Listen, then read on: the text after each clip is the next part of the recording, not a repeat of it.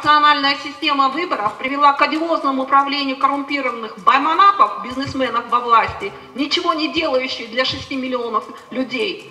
Только кадриль танцует с кредиторами заезжими. Поэтому задумайтесь, почему в Конституции 2010 года нет бесспорных и в конституционных законах нет бесспорных положений по принципиальным вопросам. Назначение референдума, назначение дат выборов. Чем обернулся для э, политиков единственный шестилетний срок правления главы киргизского государства?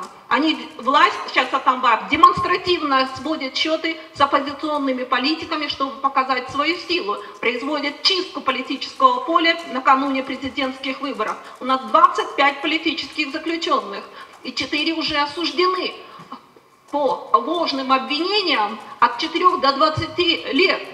Эта Конституция 2010 года привела к такому бардаку. Все в ней препятствует для прихода нового достойного лидера государства. То есть, если таковой придет, он придет вопреки, а не благодаря этой Конституции.